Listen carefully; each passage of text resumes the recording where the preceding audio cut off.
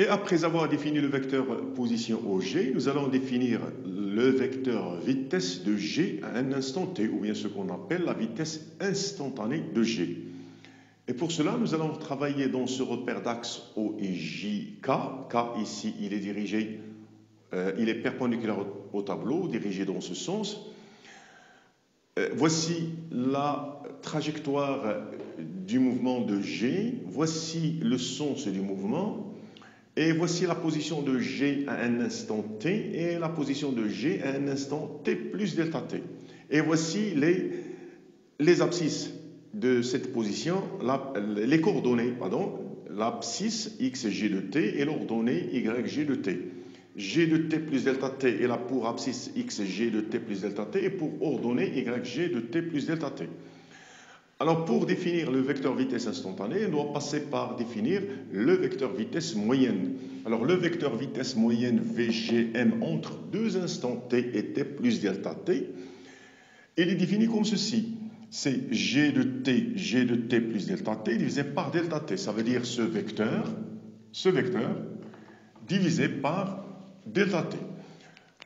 Et on peut écrire g de t, g de t plus delta t en faisant intervenir le point O, origine du repère, qui est fixe.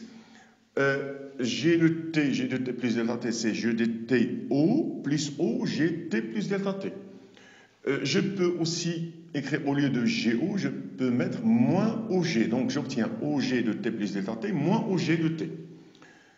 Donc on obtient G de t plus, euh, G de t plus delta t. Ce vecteur, c'est tout simplement la variation du vecteur position OG. C'est OG à l'instant t plus delta t moins OG à l'instant t. Donc c'est la variation de OG.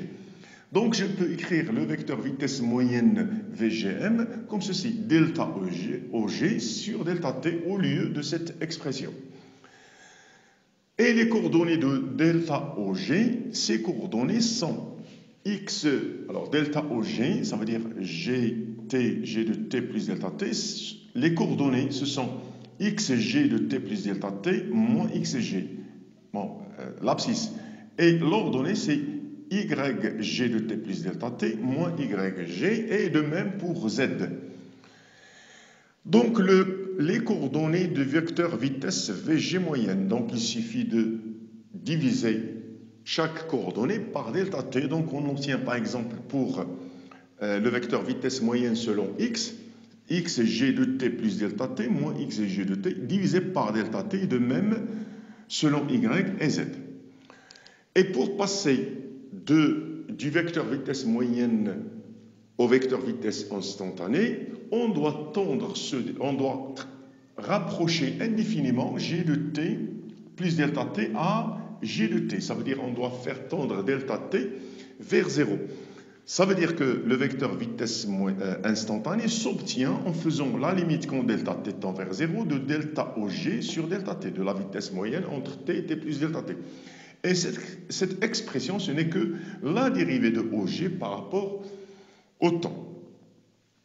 Et les coordonnées de ce vecteur vitesse instantanée, ce sont donc la limite quand delta t de cette expression, quand delta tend vers 0 de cette expression, et c'est d de x par rapport au temps, c'est la dérivée de x par rapport au temps, et de même pour y et pour z.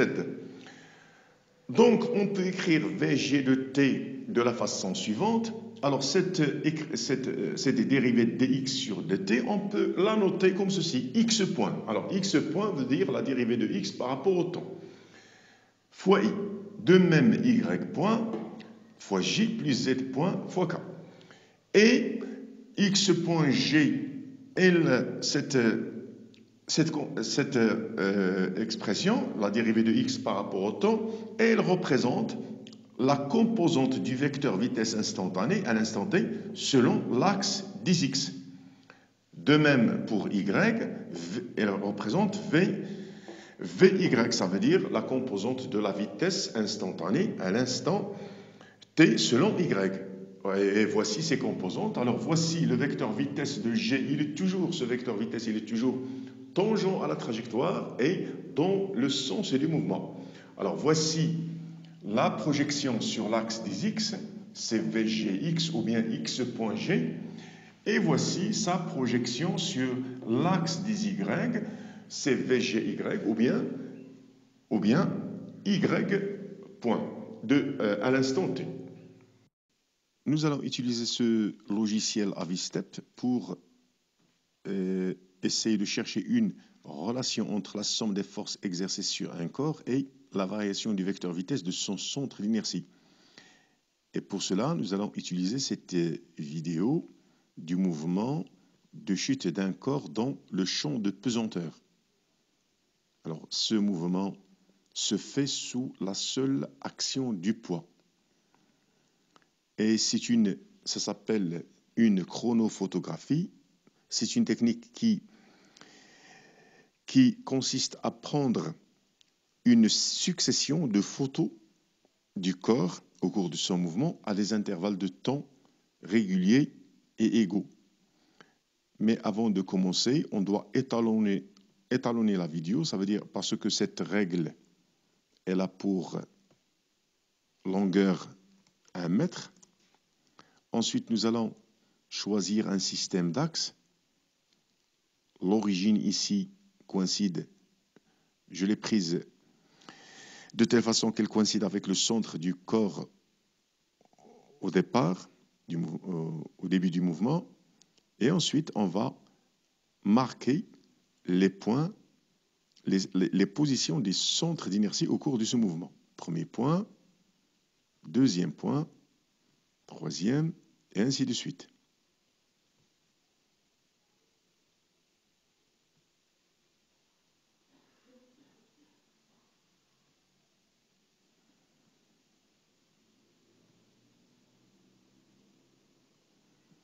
Donc, euh, ce qu'on observe maintenant, c'est l'allure de la trajectoire du mouvement de G.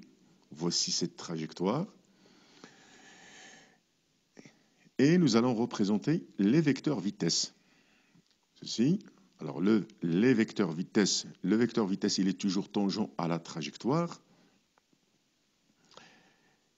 Et nous allons essayer de représenter la variation du vecteur vitesse entre deux points, par exemple 2 et 2 et 4. Ça veut dire la variation du vecteur vitesse au point V3. Et pour cela, avant de commencer ceci, nous allons d'abord euh, voir comment on fait vectoriellement cette différence.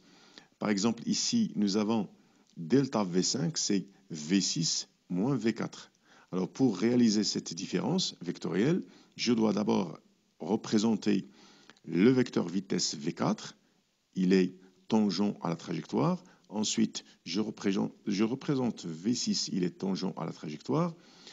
Et je vais, chercher, je vais écrire cette, euh, expression V6 moins V4 sous forme de V6 plus moins V4. Ça veut dire que je vais ajouter à V6 l'opposé du vecteur V4. Et pour cela, alors je vais d'abord tracer le vecteur V6 au point M5. Donc, ça veut dire euh, je, je fais une translation de V6 euh, comme ceci. Voici V6 encore, une deuxième fois. Et je vais tracer le vecteur moins V4. Ça veut dire je fais une translation de V4 et je l'inverse. Donc, c'est moins V4. Et je vais faire coïncider l'origine de, de, de moins V4 avec l'extrémité de V6. Comme ça, j'aurai V6 plus moins V4 donc, ça va donner le vecteur delta V5. Donc, voici delta V5.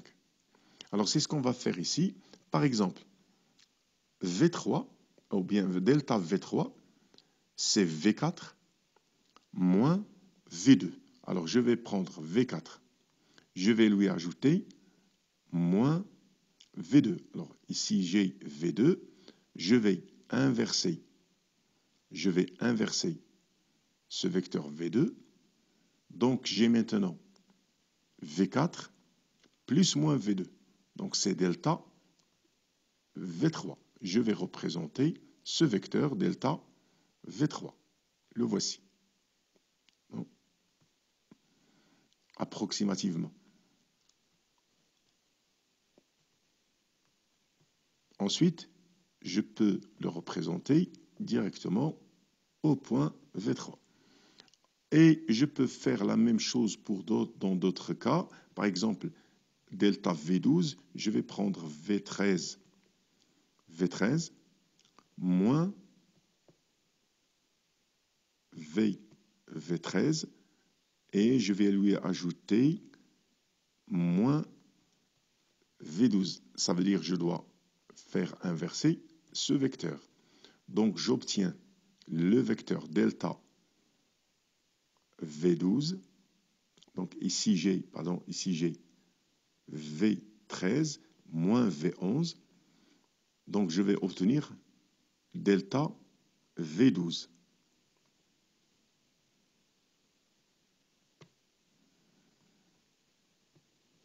Alors voici delta V12. Alors observez que euh, les vecteurs delta V, la variation, ils sont égaux approximativement et leur direction c'est la verticale et le sens vers le bas.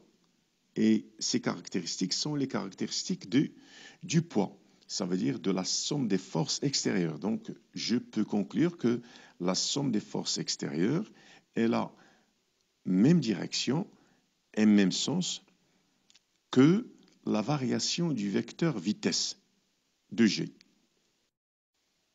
Et maintenant, je vais doubler la durée delta t. Ça veut dire je vais déterminer le vecteur delta, delta v de g entre 1 et 5 par exemple, au lieu de 2, au lieu de le calculer entre 2 et 4.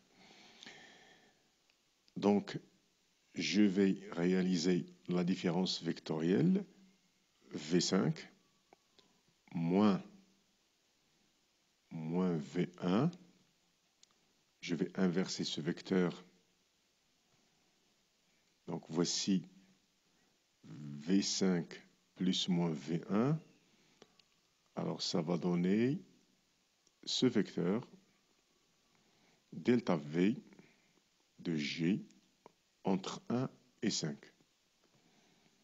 Donc je vais mesurer sa norme 2,6 et observer la norme de, de delta VG entre 2 et 4 1,34. Ça veut dire que, que ce vecteur, déterminé entre 1 et 5, il est approximativement le double de celui calculé entre 2 et 4. Ça veut dire que si double, que si je double le temps delta t, le, vecteur delta vg aussi double.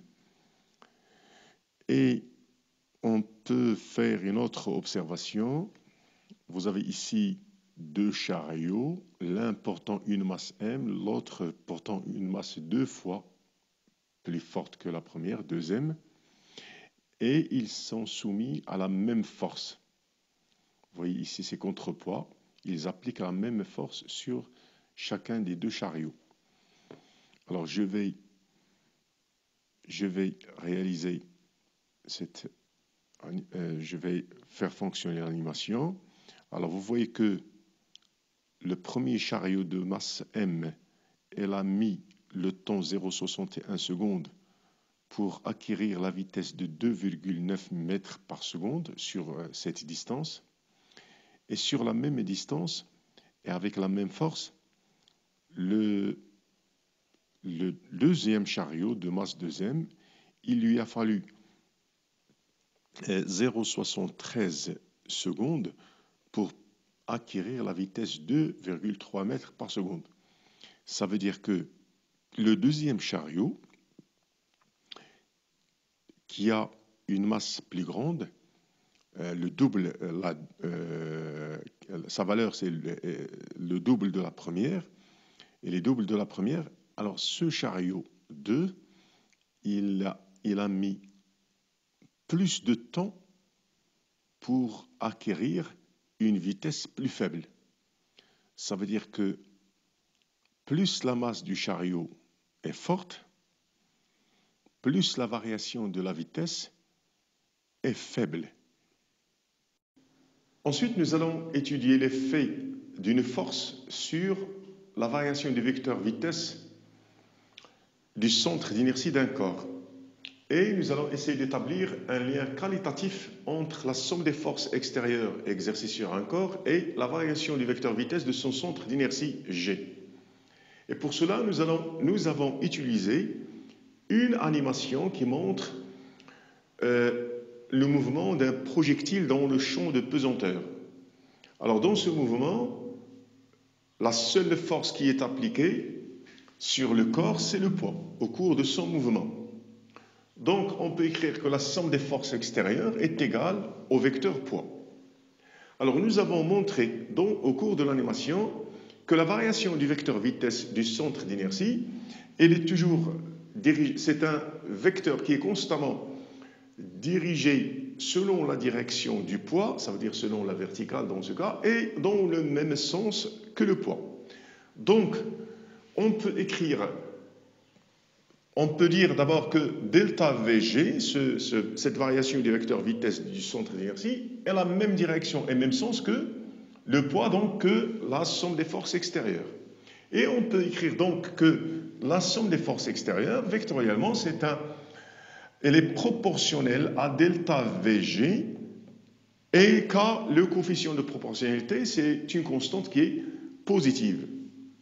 Ensuite, nous avons vu aussi l'effet de la variation du temps, de, de, delta t, de la durée delta t, entre laquelle on calcule ce delta VG. Et nous avons vu que si on double le delta T, le delta VG, il double en intensité. Ça veut dire que pour une somme de, forces extérieures euh, donnée, le delta VG, il dépend de delta T. Donc, on va écrire cette expression sous une autre forme. La somme des forces extérieures est égale à une constante K' positive fois delta VG divisé par delta t. Ensuite, au cours d'une autre animation, nous avons vu que la masse d'un solide elle a une influence sur la variation de la vitesse pour la même force euh, appliquée donnée. Et nous avons déduit que l'effet de la, somme des forces extérieures sur delta Vg est d'autant plus faible que la masse du corps est élevée. Ça veut dire que plus la masse du corps est forte, plus la variation du vecteur vitesse de G est faible pour la même force ou bien pour la même somme des forces extérieures. Donc on peut écrire enfin que la somme des forces extérieures, elle peut être écrite sous la forme suivante, c'est M fois delta Vg sur delta T.